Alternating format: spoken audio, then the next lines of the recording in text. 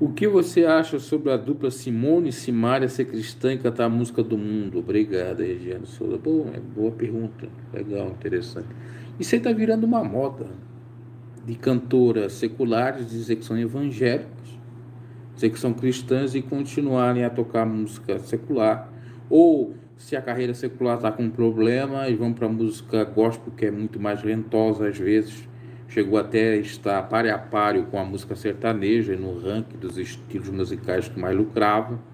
Então, eu vejo que é uma questão mercantil. Entendo que todos os cantores ou famosos têm algum tipo de fé, que na realidade todos têm um lado espiritual, independente da crença.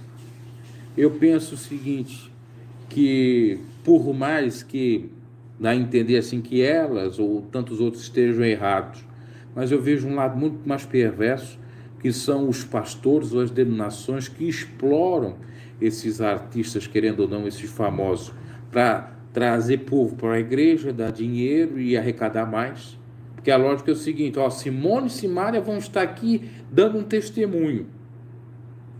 Quantas pessoas que não vão para esse culto? Quanta arrecadação que não se tem ali? Você para para analisar?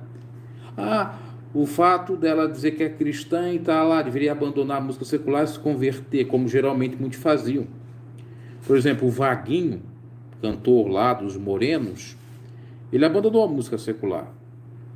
O Rodolfo saiu do Raimundos, fundou uma banda evangélica e está cantando ali, tá? Mas querendo ou não, eles ganham, porque isso tem uma hipocrisia que não dá, né? Poucos falam.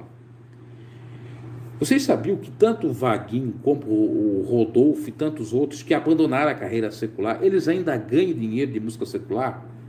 Porque eles têm os direitos autorais, eles ganham.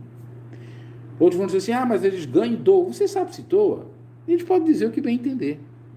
Então é meio que uma hipocrisia, porque se realmente a música secular não fazia, não, não faz mais parte da vida deles, por que que então eles recebem direito autoral de música secular? Abandone. Para dizer, ah, eu não canto mais secular, mas a tua música, a tua voz está gravada. Por exemplo, se você vai numa rádio, você escuta as músicas antigas do Raimundos, quando o vocalista era o Rodolfo. E ele está ganhando aquele dinheiro que está sendo dado para o ECAD, porque toda rádio tem que pagar o ECAD. Ele está ganhando. Tá? Tem isso. Então, se é para sair de uma vez do mundo secular, também não ganha nada do mundo secular. Elas estão ganhando, trabalhando. Eu, eu penso o seguinte: elas estão trabalhando, não estão vivendo de obra.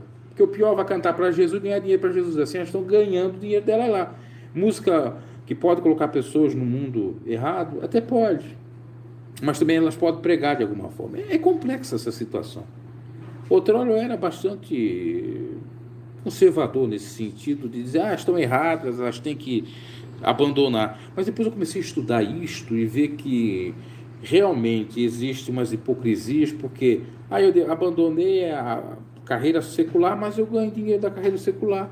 Então é mais do mesmo. Vocês compreendem? O certo seria não ganhar nenhum, de nenhuma parte. Mas também, por outro lado, a pessoa vai começar a ganhar dinheiro cantando para Jesus e ficando às vezes até mais rico com o dinheiro de música evangélica do que de música secular, não é uma coisa a ser pensada, porque querendo ou não está comercializando a palavra, querendo ou não está ganhando nome e fama e dinheiro, poder com o nome de Jesus.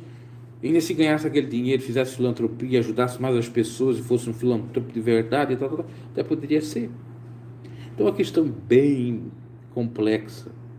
Dados BG, notícias do Brasil e do mundo que estiver na pauta e na ordem do dia para você. Deixe seu like, se for no canal, se inscreva e até a próxima.